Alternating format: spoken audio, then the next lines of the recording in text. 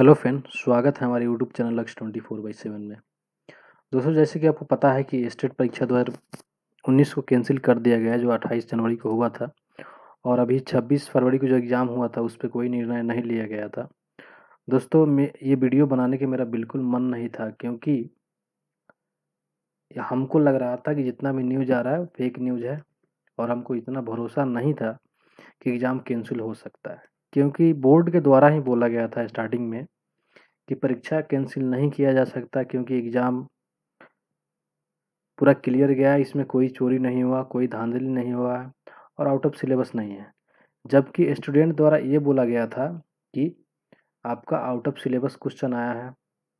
आप एग्ज़ाम्पल में हम बता देते हैं कि computer science computer science paper जो पचास नंबर का था उसमें पेडोलॉजी से एक भी क्वेश्चन नहीं था। जबकि सिलेबस में बोला गया था कि पेडोलॉजी से क्वेश्चन आएगा।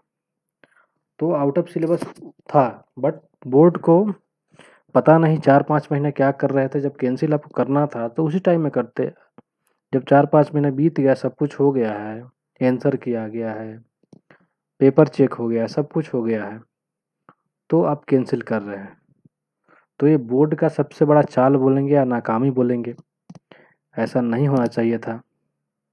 अगर ऐसा होता है तो समझिए कि स्टूडेंट के साथ धोखाधड़ी हो रहा है। उसके जो विश्वास है उसको आप तोड़ रहे हैं। तो दोस्तों, ये जो है विज्ञप्ति है, जो बोर्ड द्वारा जारी किया गया, ऑफिशियल विज्ञप्ति है। तो इसमें यही चीज़ लिखा गया है कि 28 तारीख के पेपर वन, पेपर टू को कैंसिल कर दिया गया है। और अगला परीक्षा जब री एग्ज़ाम होगा, उसका डेट जब फिक्स हो जाएगा, डिसाइड कर लिया जाएगा बोर्ड के द्वारा तो नोटिफिकेशन आएगा।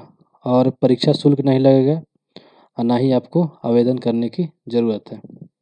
तो दोस्तों, ये थोड़ी सी राहत है बट ये एग्ज़ाम कैंसिल नहीं होना चाहिए था। इससे काफ़ी इफ़ेक्ट पड़ने वाला है स्टूडेंट पे। और टाइम भी बहुत खींचेगा। क्योंकि अभी लॉकडाउन का समय चल रहा है, इसमें कब एग्ज़ाम होगा, क्या होगा, कुछ बोल नहीं सकते। कितना दिन लॉकडाउन चलेगा, बहुत लोग बाहर में फंसे हुए हैं कहीं कहीं पे। तो ये सब सारे जो है प्रॉब्लम क्रिएट करने वाला है। तो कुछ अभ्यर्थियों के लिए फ़ायदेमंद है बट जो जिनका एग्ज़ाम अच्छा गया है, उसके लिए बिल्कुल अच्छा खबर नहीं है, ये बुरी खबर है उनके लिए। दोस्तों, इस वीडियो में इतना ही, और आपका जो भी राय है, जो भी ओपिनियन है प्लीज़ कमेंट करें। कमेंट सेक्शन में। और वीडियो को लाइक करें शेयर करें अपने दोस्तों के साथ, अपने फैमिली के साथ। और आपका क्या ओपिनियन है वो ज़रूर करें कमेंट करें, ताकि हम लोग आगे का जो प्रोसेस है, आगे अगर कोर्ट केस करना हो या कुछ भी करना हो तो आप लोग का सहयोग ज़रूरी है और हम लोग का भी।